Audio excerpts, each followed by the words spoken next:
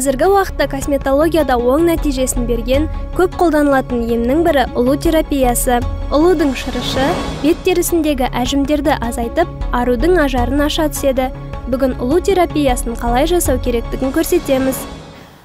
Қазіргі таңда улитка терапия деп кең таралып жүрген ұлу терапиясы. Бұл, терапияны бастамас бұрын қолданушының бетін тазалап алуымыз шарт. Себебі бұл бетте крем немесе тағы да басқа бояулар болатын болса ол ұлуды уландырады. Улану нәтижесі ұлудың өлуіне әкеп өліміне әкеп соғады.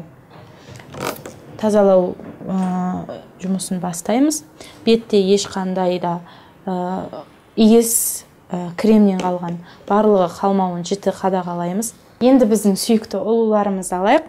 Бұл ұлулар өздеріңіз көріп тұрғандай қабыршағы және терісі болып екіге бөлінеді. Терісін ұстаған кезде өздеріңіз көріп тұрсыздар өте жұмсақ. Сондықтан бұл жұмсақ терімен өте абайлап ұстаған дұрыс. Тырнақ тиіп кетпеу керек. Алақанның ішкі тұсымен астынан бастап нәзік алған дұрыс. Және қоюшы адам бірден екі ұлу алып алмаса екінші рет өзі жабыстырғанға қиналып қалатын болады. Ұлулар негізінен бауыр мен жорғалаушы жәндіктердің қатарына жатады. Бұлардың түрлері өте көп. Ал косметологияда қолданылатын түрі ұлудың ол ахатина деп аталады.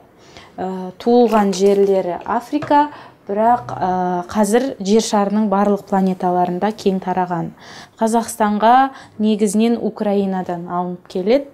Ал процедура негізінен осылай жасалады. Адамның бетінде ұлу жүріп шырышын бөлу керек. Бетте жүруі үшін бет ылғалды ылғалдылығын процедураның соңына, соңына дейін сақтап отыру керек. Ол үшін біз арасында су сеуіп отырамыз арнайы су себетін құралмен. Және ұлулардың жабысу жабыспау жүру бағыттарын туралап отырамыз. Ұлу шырышының бет терісіне пайдасы орасан безеулерді қара дақтарды жойып беттегі ұсақ тесіктерді тарылтады. Өлі жасушаларды тірілтіп теріні жасартады. Әртүрлі жаралар мен дақтардың орнын тез жоғалтатын әсері де бар. Ұлулардың косметологиядағы пайдасын ең әуелі римдегі осы ұлу жинаушылар білген екен. Себебі ол ұлу жинаушылардың қолдары өте балғын болған осы ұлудың шырышынан.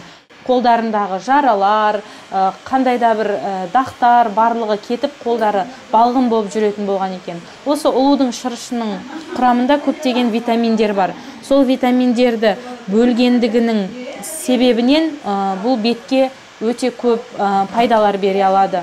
Коллаген эластин аллатонин және антибиотиктердің антибиотиктер және а е с витаминдерін бөледі. Бұл витаминдер бетті ылғалдандырып тартып және денеге жаңағы терінің түсін жаңартып өңін ашып ағартып солай тұрады. Медицина ғылымдарының дәлелдеуінше ұлудың денсаулыққа да пайдасы зор. Ежелде бұл ұлудың шырышын бронхит астма дейді ғой жаңағы тыныс алу жолдарының ауруларына өте жақсы қолданған көкжөтел болып ауырған адамға қантқа кәдімгі төрт бұрышты қантқа ұлуды бір рет жүргізіп яғни шырышын жағып берген екен. Сол ұлудың шырышы тамақ жолдарындағы адамның ауруларын алып өткен қақырық тұрып қалуларын өте жақсы солармен күрескен деп деген ақпараттар бар. Қыз келіншектердің түрлі жақпа май бет жуатын құралдарының құрамында ұлу шырышының болатыны мәлім. Өйткені ұлу шырышының пайдасын ғалымдар бірнеше ғасыр бұрын дәлелдеген дейді маман. Міне біздің қолданушымыздың да беті шырышқа толы болды өздеріңіз байқап отқандай жылтырап та көрініп тұр. Енді ұлуларды алуымыз керек. Ол үшін ұлуларды алған кезде жан жағына су сеуіп босатып одан кейін беттің барлық бөлігіне сол ұлумен тағы бір массаж жасап барып алған дұрыс. Қазір мен оны сіздерге көрсетем. осылай. Және ұқыпты ғана әсіресе жаңағы проблемный зона дейді ғой. Беттегі ең безеуі көп немесе әжімі көп дағы көп жерлерге көбірек осылай қолмен массаж жасап сосын барып алып орнына қоямыз. Ұлудың бетте жүруі теріні уқалап тыныштандырады.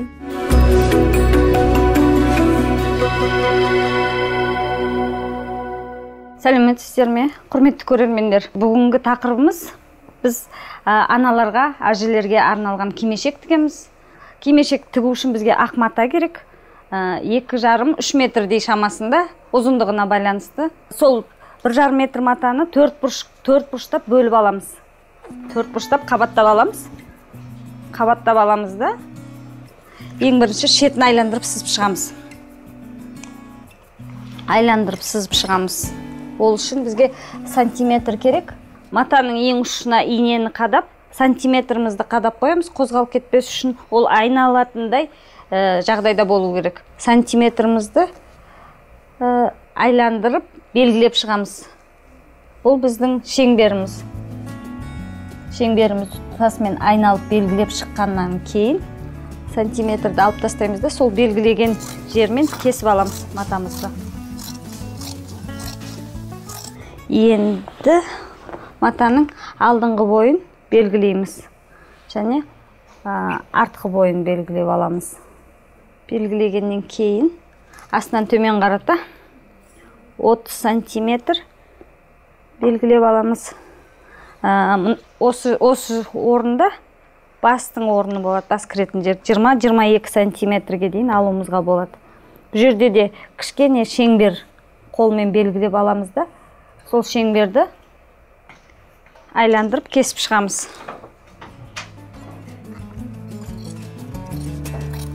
Кесіп шығамыз. Міне біздің кимешегіміздің астыңғы жағы дайын болды. Міне осындай болады. Астыңғы жағы мына жақтан бас кіретін жер. Енді осы кимешектің үстіңгі жағына арналған тақиясын кесіп аламыз. Тақиясына 40 сантиметрдей мата керек. 10-20 сантиметр көлемінде өлшейміз да биіктігіне аламыз 30 сантиметрді. 30 сантиметр алып ә, кішкене тақияның көлемін белгілеп аламыз. Белгілеп аламыз. Кесеміз.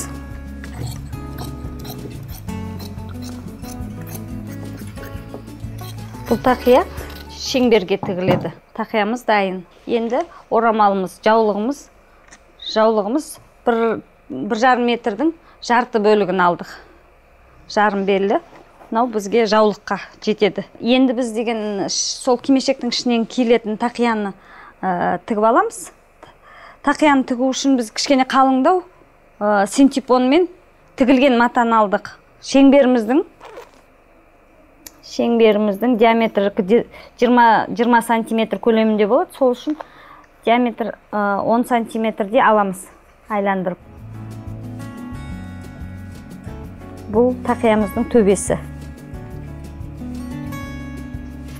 Тақиямыздың төбесін айландырып белгілеп аламыз белгілеп аламыз да сол шеңберді кесіп аламыз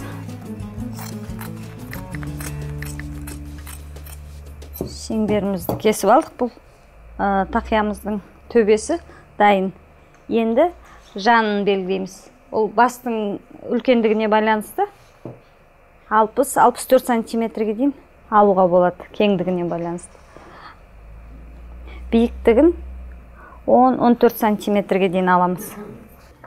Енді біздің тақиямыздың астыңғы бөлігін дайындап аламыз. Оны түзу күйінше кесіп алуға болады.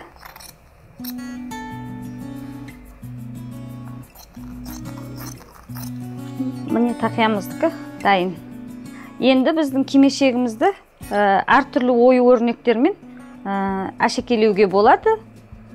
Ә, мінекей қазір біз алған оюымыз өзі жабысатын үтіктің көмегімен жабысатын ою.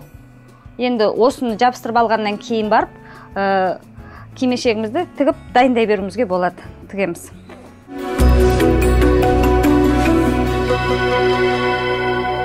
Біз енді бағанан бері кескен кимешегімізді жинаймыз.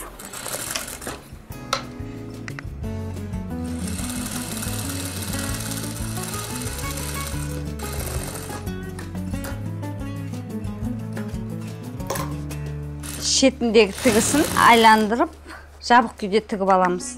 Тігіп аламыз да ба- басына дайындаған қалпағымызды кимешектің астыңғы жағына қосамыз. Қосамыз. Ыңғайлы болу үшін тіккенге және кигенге де ыңғайлы болу керек. Енді үстіңгі жағы мен астыңғы жағын қостым. Кимешекті ә, әр кезде әртүрлі ә, заттармен әдемілеп әшекейлеуге болады.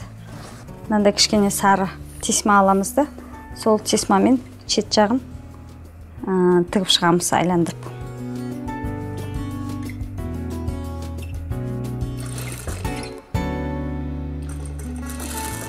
Мынау жаңағы тақиясы кимешектің үстіне киілетін. Соны дайындап аламыз.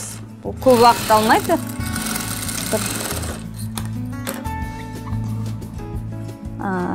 Төбесін қосып алғаннан кейін айландырып аст, астын төбесіне айландырып қосып шығамыз.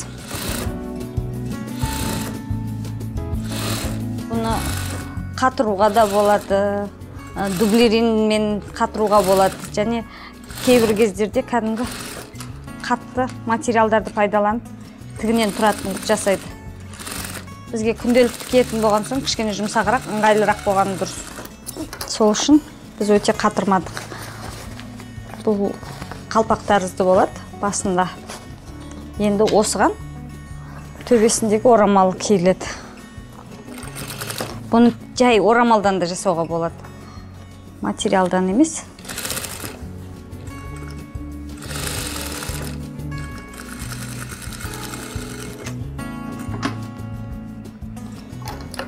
Енді астыңғы жағы мен алдыңғы жағын айландырып көм, көмкеріп қайтарып тігіп шықсақ бұл жаққа әртүрлі нәрселер жасауға болады. Оюлар тесма ә, шашақтар небір түрлі жасауға болады.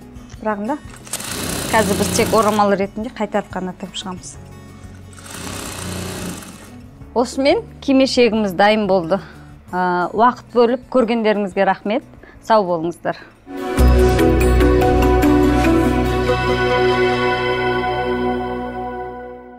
Біз бүгін қарапайым сусын бөтелкесінен қалам салғыш жасаймыз.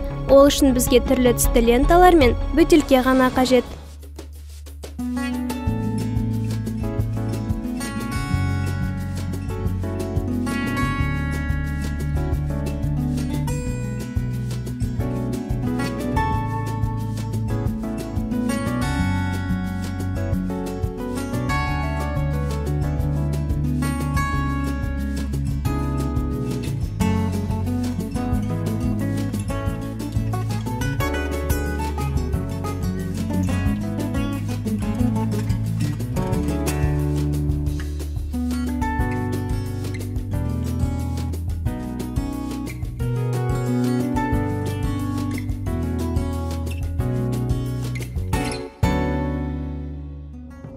Осымен бағдарламамыз тәмам. Сіздер үшін пайдалы болды деп сенеміз. Құрметті көрермен бағдарлама барысында көрген киім немесе қолөнер бұйымын үй жағдайында жасап көрген болсаңыз біздің мекенжайға суретін жолдаңыз.